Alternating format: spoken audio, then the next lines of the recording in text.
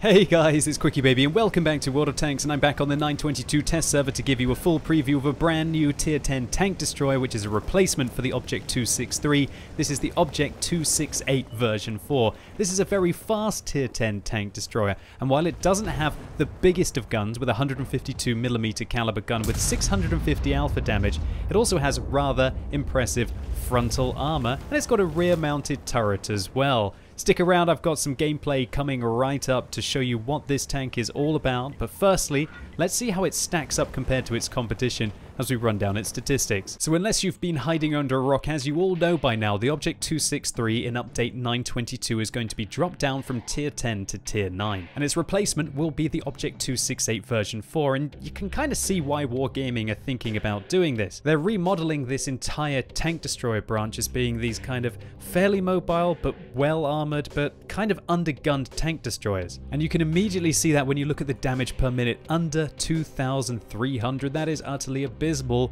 for a tank that only has 650 alpha damage. To have that kind of DPM, you'd be hoping to have the Jagdpanzer E100's 170mm caliber gun capable of dealing 1050 damage, or even the FV215B 183mm main armament, which deals 1150 damage. And when it comes to purely dealing the damage and killing multiple targets in front of you, or a single target that will take multiple hits, this vehicle is going to pale in comparison to the Object 268 and even the WZ-113 13G and what the Object 263 used to be like. At least the penetration on this gun isn't a disaster, 293 is still great and it should allow you to be competitive even in tier 10 only matchups. The premium rounds on this tank though are a little bit disappointing, 360mm of heat penetration that can't live up to the full-blooded 152mm the Object 268 has with 395mm of penetration.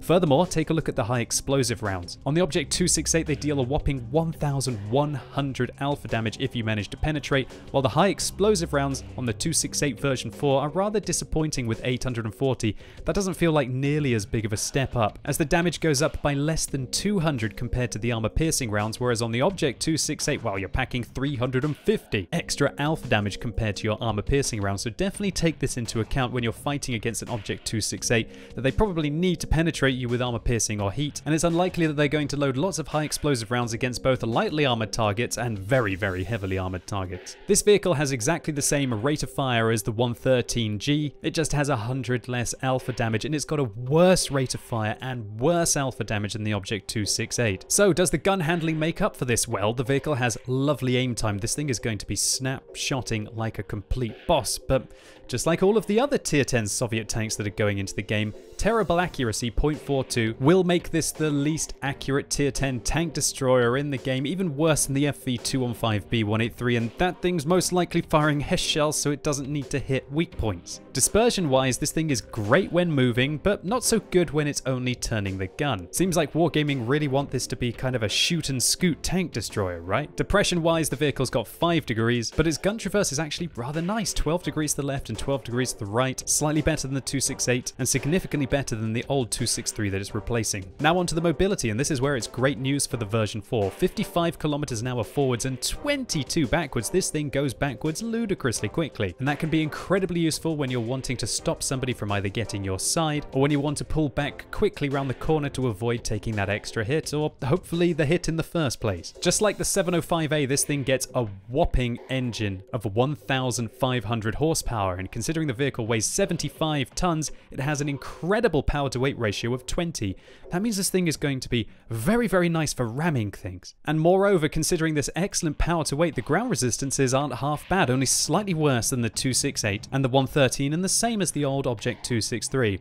However, there's one thing that does suck about this tank and that is the traverse speed. 23 degrees a second means that even though you've got that fantastic power to weight ratio, it kind of turns more like a boat. And the Object 263 had 50% better traverse on pretty much all terrain and even the 268 turns significantly faster than the new version 4. And so keep it in mind when you're going to be fighting a 268 version 4 next patch that while it can go backwards quickly, it's not going to be able to turn quickly. Now onto the armor, and this is where it looks like it's pretty good news for the 268 version 4. 250 millimeters at the front, 100 at the side. That looks just better than the 268 and pretty much the same if not better than the Object 263 that it's replacing. And on closer inspection this vehicle actually has better than stated armor, 290 millimeters along the lower plate, while it's 250 along the superstructure here and even this weak point so to say, this periscope looking device or view rangefinder still has 250 millimeters of protection and so that means when we go to live, good luck tier 8 tanks going through any part of this vehicle frontally. And even tier 9 tanks are not going to be able to get through that lower plate, even tier 10 tanks unless they load premium rounds and hopefully shoot up into the lower plate here. Superstructure wise, when the vehicle's not using any of its gun depression, it's still got 300 millimeters of effective armor,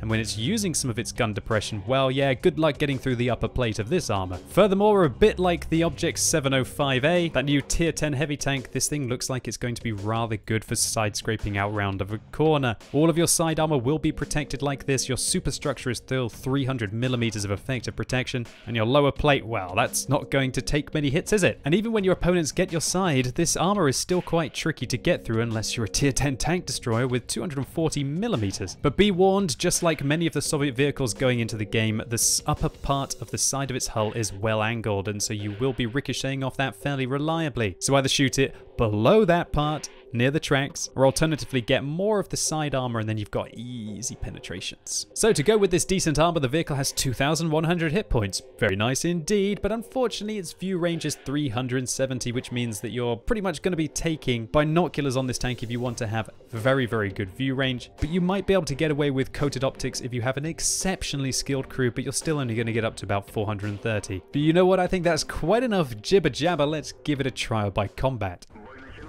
So we're rolling out on Lakeville in, surprise surprise, a tier 10 only matchup. That's all I was getting on the test server and the reason why I stress that is because I haven't really had an opportunity to see how these very well armoured tier 10 Soviet tanks that I've showcased, three new tier 10 tanks in the last three days are going to do against tier 8 and tier 9 tanks and obviously they can have less penetration, your armor is going to hold up a hell of a lot more and you could probably be even more cheeky. But look how fast the Object 268 version 4 here was. Oh wow, that was an awful shot. Well, I, I did a great job of an annihilating that rock with that 152mm shell. Good job, Quacky baby but I was trying to highlight just how mobile this tank is with its 20 power to weight ratio. We race into position. Oh, will we be able to snipe a shot here against the Type 5? Well, we don't know if that one went in, but it looks like it hit the dirt rather than hitting its tracks. Nevertheless, the high explosive rounds shoved over the top of my tank towards the T-62A. Thank God I didn't pull back into that one. And they're probably going to be spotted as well, so I'm starting to get a little bit nervous about sitting here. There's lots of sneaky tanks on the enemy team like that T-100 LT is still alive, and there you go, the FE-405 has been spotted, and I'm tanking a shot for him by the looks of it from the 268 version 4. Now those guys are going to be flanking around towards the east. I'm just going to slow play it at the start of this game. Just try and lock down this position, try and spot out. Now we know where that T100 LT is. I'm going to maybe try and blind fire around at him. Will we fire? No, I decide not to. The rate of fire on this tank isn't that good. I actually just saw a tree fall here, which suggests the T100 LT has actually made his way into this position, but I don't think I picked that up as the game was going on. So, third object tier 10 review in the last three days. What do I think about all of these vehicles? And if I could only get one, which one would I be going for? Well, that, kind of maybe spoils the rest of the video. But I think if I could only have one... I, don't know why, but something in me is saying the Object 705A. That vehicle just feels rather novel. I, I don't know, but I just want to have arguably the best side scraper in the game. I think the 430U is absolutely fantastic but it's not that different to a 1-2-1 for me to, to justify having it, whereas I do feel that the side scraping potential of the 705A is absolutely phenomenal. Nevertheless, let's see if maybe this game in the 268 version 4 is going to change my mind. And wow, I gave too much lead there against the T100 LT. What an awful start for me. I was getting very frustrated at the time, and it's nothing to do with the .42 accuracy that this tank has. It's just purely me misjudging the situation. But when you're trying to snipe at a tank that's capable of going at 70 kilometers an hour, you really have to give a decent amount of lead. Well, the T100 LT gets spotted. Alright, thinking about shooting out towards the tank destroyers and the heavy tanks. Not going to make it. Okay, let's have a go at this tier 10 light tank. Blah! Okay, yeah, yeah, basically the first one that I, I, probably didn't bother to fully aim actually hits with the .42 accuracy, right? Okay, that was a pretty good snapshot. And that's what this tank is going to be doing. Yeah, I did highlight the great aim time and the great dispersion when moving on this tank. You can literally just drive forwards and within a couple of seconds be able to fire and then, I mean, that one didn't go anywhere near where I aimed it, but of course when you've got 293 millimeters of penetration and you're shooting at a tier 10 medium tank from above, it doesn't, you don't really need the precision point accuracy, right? And I guess if you need precise accuracy, then you'd want to play a different tank, or alternatively, just load heat rounds in this, and then you've got 360 millimeters of pen, which should be more than enough. So there you go, right into the back of the Action 10.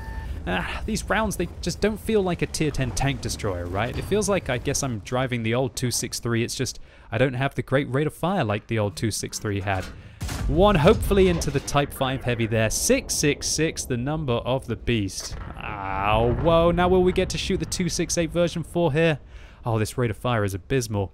And when you're only doing 650 damage on average with those shells, oh, I thought he was going to go backwards, but he was I thought he was going to continue to go backwards, I should say, but he actually stopped lurch forward. Neo avoids the shell there, and I am left looking rather awkward. So 2,600 damage so far in the first four and a half minutes of this game. There's no doubt that I've missed a few of my shells, but look at this aim time. Oh, well, that would have been an easy kill if it wasn't for that 705A on my team. But I'm trying to highlight the playstyle of what I think this tank will be. Look at it, it's rather mobile. It's more like a medium tank than a, a, a tank destroyer. One of the slower mediums, I'd say. Something like a a T-62A, and that thing's got great ground resistance and is unlike this, however. But you can just race into positions, and I can imagine this tank surprising its opponents by getting into locations that they otherwise wouldn't thought it would have been in yet. This T100 LT is going to come around the corner, reacts too slow to the fact that I'm inside the cap circle. And that's an easy kill for me. Oh, so there's a 705A just sitting, defending base, I guess. Okay, no problem. 111, 14, I believe. Oh, no, sorry, 111, 5A gets a shot into the... Oh, it's a 113G, actually. Manages to get his shot into my back. I'm going to wait till he turns too much.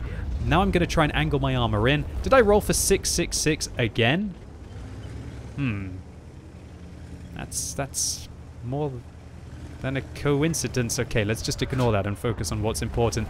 And that is trying to lock down this flank while those 4005s are going to come around the corner. Okay, we've got an Object 430U right through his lower side armor, the 113 GFT fires a heat round into me, and I've run out of armor piercing rounds because my marksmanship has been so bad this game. But I still feel like punishing him. I should be able to get an easy round in here and then pull back. There you go. 573 damage though. Ouch. It's a bit of a low roll. Still, up to 5,000 damage now. The 4005s come around the corner and obliterate the 5, the 7, sorry, the 705A. got all of these object names. I don't know, can you keep up with it? It's still rather challenging for me to get it right. But now I'm hull down against a 113 FT. He fires into, looks like he tried to shoot me in my weak point there, but it didn't manage to fully go into the tank. I tank it and finish him off. And now I'm just in the dream position for this scenario. Well, dream position. This scenario is the dream for the tank, I should say. One right into the back. A nice roll there for seven five, six. We haven't seen too many rolls of less than 600 this game. I guess I've been fortunate with how much damage we've been doing. And you know what?